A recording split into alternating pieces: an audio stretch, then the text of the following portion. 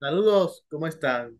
Hoy quiero hablar y compartir con ustedes so- sobre mi propia experiencia en social media.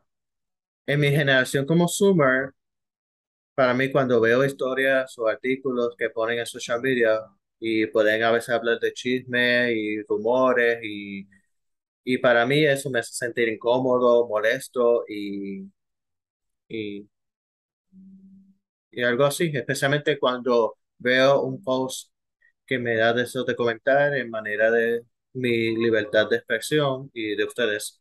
Es la más compleja porque se puede decir y expresar tus emociones en la manera que le den la gana y ustedes lo que deseen decir, pero hay que tener mucho cuidado con lo que tú comentas y hay veces con la que la gente comenta, aunque sea algo que no te guste o te hace sentir mal, no podemos controlar lo que todos dicen o comentan. Volvemos, es su libertad y expresión. Si tienen duda, como siempre, escribirme un mensaje directo por, por Facebook o me comentas en este video por YouTube y Facebook.